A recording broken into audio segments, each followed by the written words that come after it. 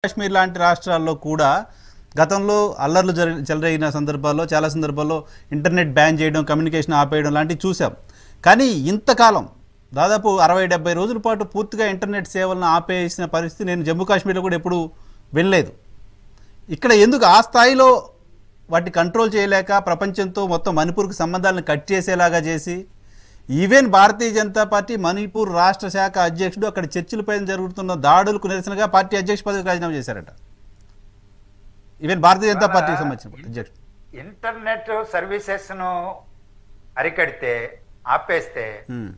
సమస్య పరిష్కారం అవుతుందండి కాదు కదా వదంతులు.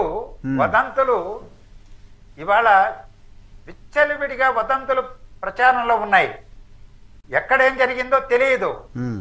దానికి సమాధానం చెప్పుకునే పరిస్థితి లేదు. ఇంటర్నెట్ అన్న ఉంటే. ఎక్కడ ఏం జరిగిందో వాట్సాప్లో ఫేస్బుక్లో లేకపోతే వీడియోల రూపంలో బయటకు వస్తే వాస్తవాలు చెప్తుంటారు. ఇవాళ మనం అనేక ఫేక్ న్యూస్ సోషల్ మీడియాలో హల్చల్ చేస్తుంటుంది. వెంటనే అది ఫేక్ న్యూస్ ఫేక్ వీడియో ఇది ఇప్పుడు జరిగింది కాదు ఎప్పుడో కొన్ని సంవత్సరాల క్రితం జరిగిందని ఆధారాలతో మళ్ళా వెంటనే వస్తేస్తాయి నిమిషాల్లో క్లారిఫై చేసుకోవడం జరుగుతుంది. ఇంటర్నెట్ను నిలుపుదల చేస్తే. ఈ అవకాశాన్ని పౌరులకు లేకుండా చేయడమే కదా. వదంతులకు ప్రాధాన్యత ఇచ్చి ప్రజలు రెచ్చిపోయి మరింత ఘర్షణ వాతావరణాన్ని దాడులు ప్రతి దాడులు చేసుకోవడమే కదా. ఇదిగో అక్కడ మసీదు మీద దాడి చేసిందే చేశారని ఒకరు చెప్తారు. దేవాలయం మీద జరిగింది ఇంకొకటి చెప్తాడు. మహిళకు అలా చేశారని ఇంకొకటి చెప్తాడు. వదంతులు విస్తృతంగా వ్యాప్తి చెందితే అక్కడ ఈ ఆంతరిక యుద్ధానికి ముగింపు ఎక్కడ. ఇప్పటికే నూట యాభై మందికి పైన చనిపోయినట్టుగా చెప్తున్నారు. అవును. ఇద్దరు ముగ్గురు మహిళలను నగ్నంగా ప్రదర్శన చేయించారని చెప్తున్నారు. అనేక చర్చిలు దాదాపు వందల చర్చిలు నేలమట్టమైనాయని చెప్తున్నారు. దేవాలయాలు నేలమట్టమైనాయని చెప్తున్నారు. ఉమ్. ఇవన్నీ వాస్తవాలు శ్వేతపత్రం కేంద్ర ప్రభుత్వం ప్రకటిస్తుందా? పార్లమెంట్లో ఏం జరిగిందో చెబుతుందా? ఎంత విధ్వంసం జరిగిందో? నిజాయితీతో జవాబుదారీతనంతో చెప్పి ప్రతిపక్షాల సహకారం కూడా తీసుకొని వెళ్ళాలి కదా. మనం చూసాం కేరళలో వామపక్ష ప్రభుత్వం అన్నది. వరదలు వచ్చినాయి. ప్రతిపక్ష నాయకుడిని కాంగ్రెస్ పార్టీ ప్రతిపక్ష నాయకుడిని. వెంట తీసుకొని హెలికాప్టర్లో వామపక్ష ప్రభుత్వ ముఖ్యమంత్రి అవును బాధిత కుటుంబాల దగ్గరికి వెళ్ళారు అవును అక్కడ సో- అసలు ప్రపంచ ప్రపంచానికి కాదు మణిపూర్ బయ మణిపూర్లో ఏం జరుగుతుందో బయటకు తెలియకుండా ఆపే ప్రయత్నం అనేది అక్కడ ఘర్షణల నివారణ కోసం చేశారా? లేకపోతే అక్కడ ఏం జరుగుతుందో బయటకు తెలియకుండా ఉండడం కోసం చేశారా? ఏమైనా కాన్స్పిరసీ ఉంది దీని వెనక అనేది ఊహించడానికి అవకాశం ఉందా లక్ష్మణ్ గారు? బయట ప్రపంచానికి అక్కడ ఏం జరుగుతున్నదో తెలియకుండా నిరోధించడం కోసమే ఇంటర్నెట్ సర్వీసెస్ని పూర్తిగా బంద్ చేసినట్టుగా కనిపిస్తుంది.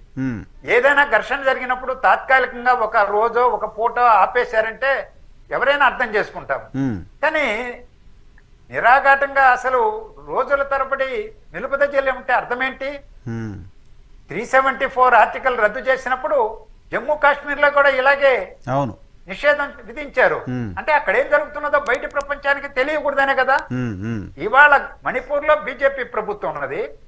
మరి ఆ ప్రభుత్వ వైఫల్యాలను బయటికి చెబుతుంటే నిలదీస్తామన్నారు. ప్రధానమంత్రిగా ఉండి మాకు ప్రధానమంత్రే. మేము ఓట్లేసి గెలిపించాం. ఆయన ఇన్ని రోజులైనా ఎందుకు నోరు మెదపడం లేదు? ఎందుకు మౌనంగా ఉంటున్నారు? ప్రపంచానికి ఏం చెప్పదలుచుకున్నారు ఆయన? అని నిగ్గదీస్తూ కొన్ని వీడియోలు వైరల్ అయినాయి. ధైర్యంగా మహిళలే వీడియోలు రికార్డ్ చేసి విడుదల చేశారు. దానికి సమాధానం చెప్పాలి ముందు మోడీ గారు. అంటే అలాంటి వీడియోలు వెల్లువెత్తుతాయి విమర్శలు వెల్లువెత్తుతాయి కాబట్టి.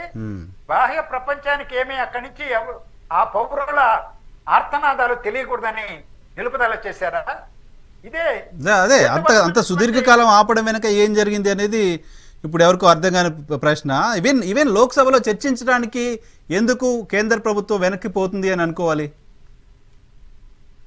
ఇవాళ వీళ్ళ పాత్ర ఉందేమో. తెలియదు కదా మనకి. ఇవాళ అధికార నేను చెప్పాను అధికారాన్ని సుస్థిరం చేసుకోవడానికి మైదాన ప్రాంతంలో ఉన్న మేథీలని సంఘటితం చేసుకొని వాళ్ళల్లో మరింత వేళ్ళూనుకోవడానికి గిరిజన వ్యతిరేక భావాలని ఆ మేథీల్లో ఈ హిందుత్వవాద శక్తులు ప్రేరేపించాయేమో ఉమ్, వాళ్ళ సిద్ధాంతమే హిందుత్వవాదం అని చెబుతున్నారు కదా.